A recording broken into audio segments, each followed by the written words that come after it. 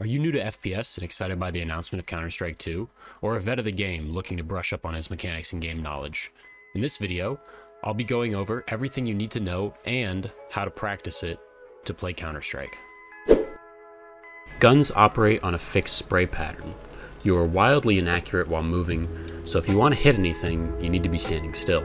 In order to stop moving reliably, you need to perform a counter strafe. To counter strafe, you need to release the key that you are currently pressing and tap the opposite key to stop instantly. For example, if you're pressing A, you need to tap D in order to stop instantly. To practice this, change your crosshair to crosshair style 3, CL underscore crosshair style 3. As you can see, when I'm moving and I just let go of my key, my crosshair closes slowly, but if I perform a counter strafe, it will close instantly. That is how you know you are counter strafing correctly. In order to practice this, just go into the range, counter strafe, and try and one tap the bot. In order to control the spray of your weapon, you need to pull the opposite direction of the spray pattern. You can practice this in Ulletical's recoil master map by tracing this dot with your crosshair.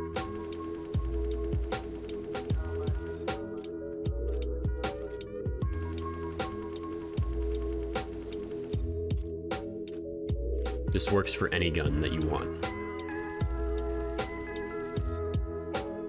Each gun has its own unique recoil recovery period on its spray, uh, so if you try to shoot too quickly after shooting, um, your recoil will not fully reset and you will not be accurate again. So learn how long it takes for your recoil to get reset and accurate again on each gun.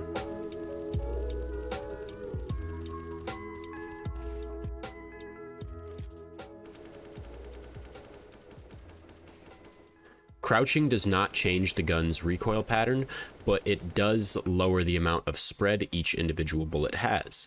You can also move while crouching and still remain relatively accurate, but there is slightly more spread on the bullets when you do so, so it is best used at close to medium range.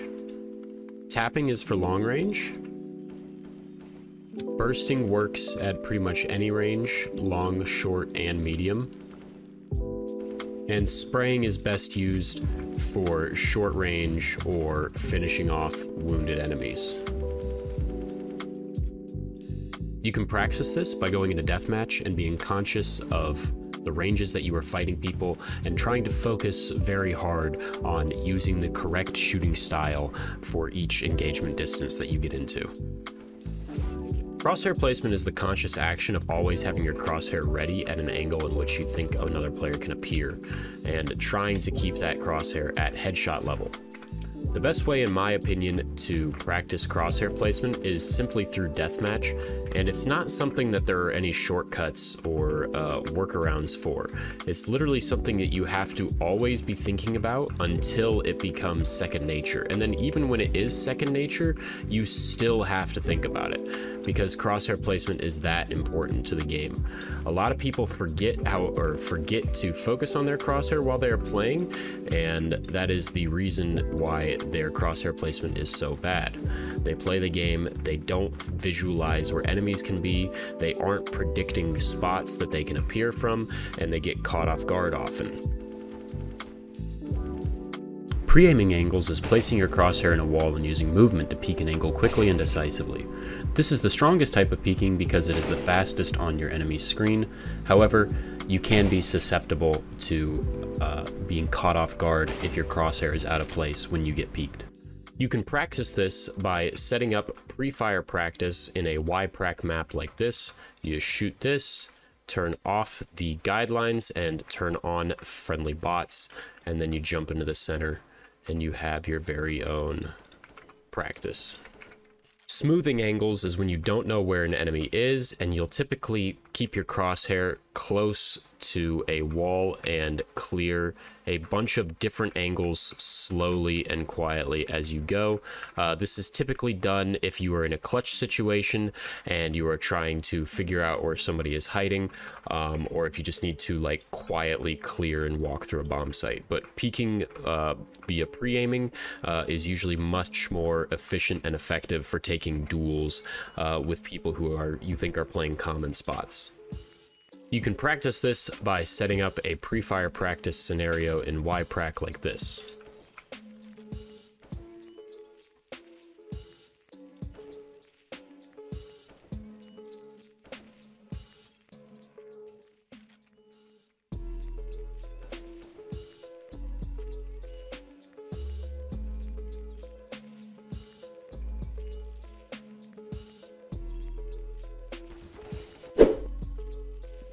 Stop, scope, flick, fire.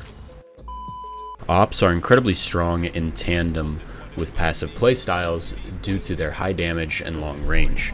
However, they are incredibly weak to utility due to their slow fire rate. If the enemy is able to section you off with smokes and flash you and scale and get close to you, you may find that the slow fire rate will end up being a thorn in your side.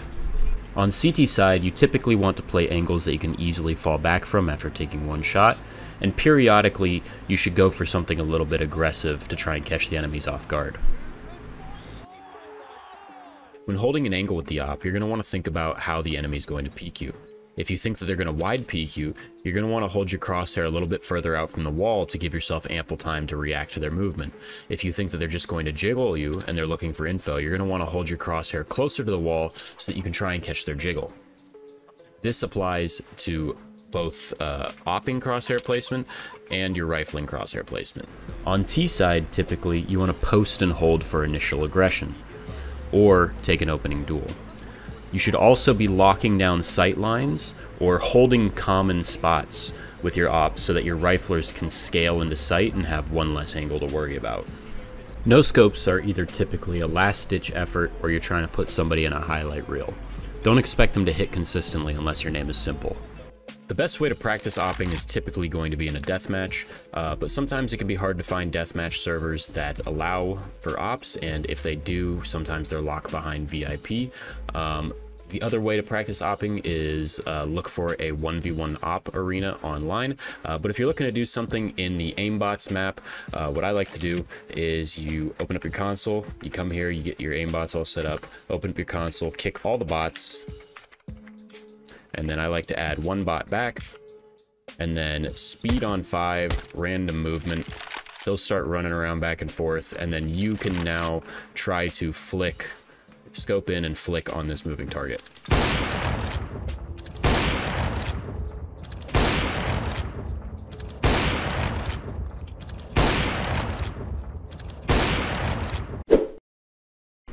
Movement can mean one of two things. Your fighting movement, which is how well you peek, or your uh, ability to fluidly and efficiently move around the map.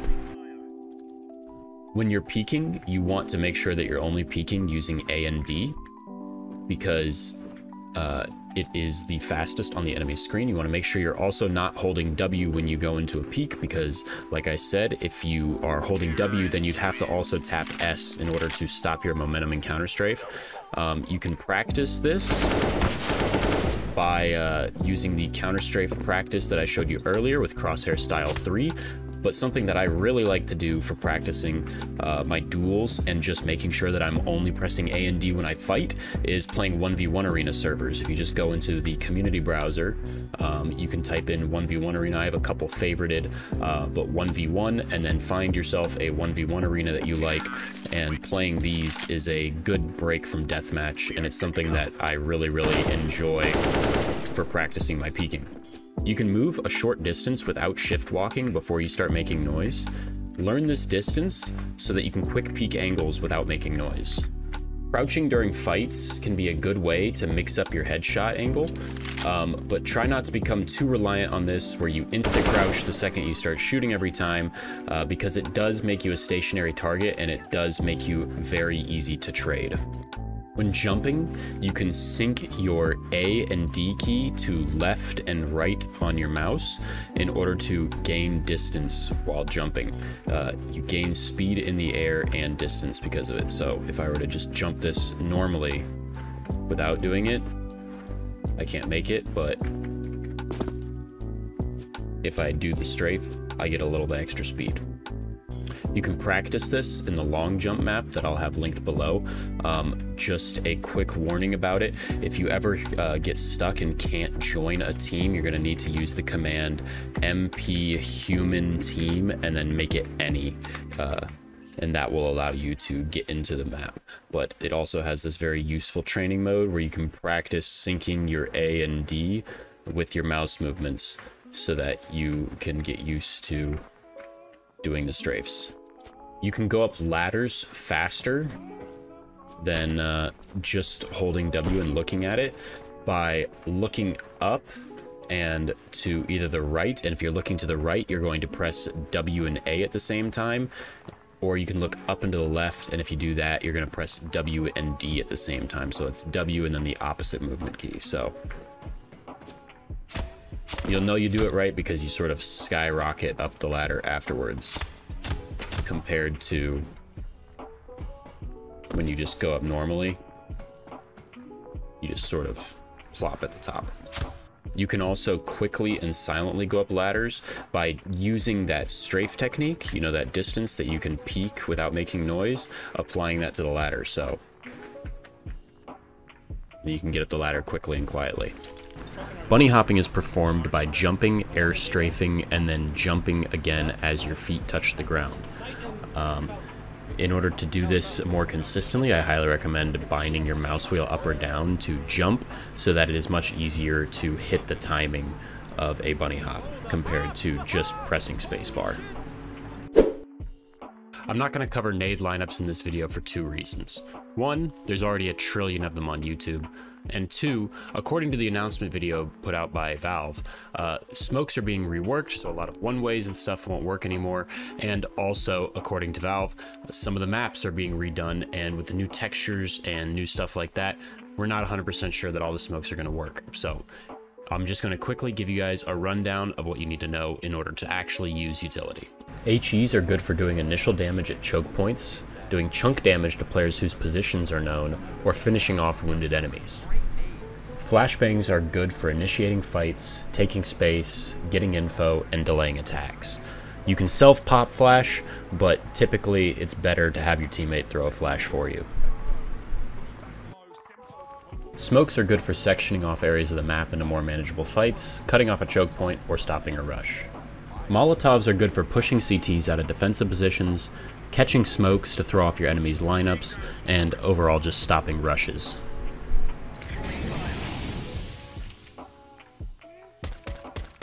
There's three ways you can throw grenades. Left click only, right click only, or you can do a combination of right and left click. If you start with your right click and then hold left click, it'll sometimes go farther, or it will go shorter than if you start with right click and then go to left click.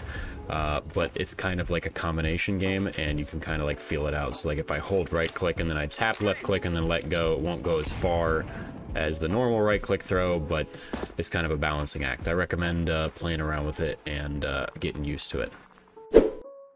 Last but not least, we have economy. The reason why you see a Reddit username on your screen right now is because I am about to do the Content Creator Classic and steal this guy's infographic for my video. Uh, so I'll have his original Reddit post linked uh, on Reddit. Uh, you can go check it out there if you want to download this graphic yourself. Alright, buckle up because this is super basic and not confusing at all. Each player starts with $800. The max amount of cash that each individual player can get is $16,000. If you kill your teammate, that's minus $300. If you get a kill with an op or a CZ, that's plus $100. If you get a kill with a knife, that's $1,500. If you get a kill with Zeus, you get no, no money at all. If you get a kill with a shotgun, that's $900. If you get a kill with an SMG that's not a P90, that's $600. If you get a kill with anything else, $300. If you are the individual to defuse the bomb or plant the bomb, you get $300, all for yourself. Uh, for round win scenarios. If you win the round via eliminations, you get 3250. If the time runs out on CT and you win, you get 3250. But if you're a terrorist and the time runs out, uh, and you lose in this scenario, you get zero dollars. Uh, if the bomb diffuse, if the bomb is defused and you win via defuse, or if you win via explosion, you get thirty-five hundred dollars. All right, now for the loss bonus. Okay, so the loss bonus now has like a counter and uh, each team starts with one tally in your loss bonus. So if you lose the pistol round, you'll get $1,900. Uh, but the lowest amount of money you can get for a loss is $1,400. Every time you win a round, it takes a tally out of the loss counter. Um, so if you win pistol, you will lose that one tally for the loss counter that you had and then you lose the second round, you'll only get $1,400 because that will count as your first loss. So after first loss, you get $1,400, second loss, $1,900, third loss, $2,400, fourth loss, $2,900, fifth loss, and any more after that, you get $3,400. Uh, on Terracide, if you lose but you planted the bomb, you get an additional $800, so the max would be $4,200. And uh, that's about it. It's really simple if you think about it. A couple quick tips about economy before I go to make it a little bit easier for you. Uh, if you go to the scoreboard, you right click and you can hover over these bars to see exactly how much money you will get next round um, if you lose, and how much money the enemy team will get next round if they lose. And also, if you hover over the previous round, you can see how many people survived from each team, uh, so you can start to gauge whether or not the other team is going to have an economy built up and whether or not they will be on eco or not. Um, sometimes there will be situations in which you need to save, but even if you do save, you still won't be able to buy fully the next round and have a comfortable buy. In that situation, you're in a double save, uh, in which case you should probably just force up a couple of things to try and make that first save a little bit more winnable and maybe a little bit more painful for the other team, uh, and then just full save the next round so that you're ready to buy the round after that. Uh, that's pretty much it. All right, well, there you guys go. Seems simple enough, right? Uh, all that's left for you guys to do now is uh, get into a server and actually play the game. Good luck.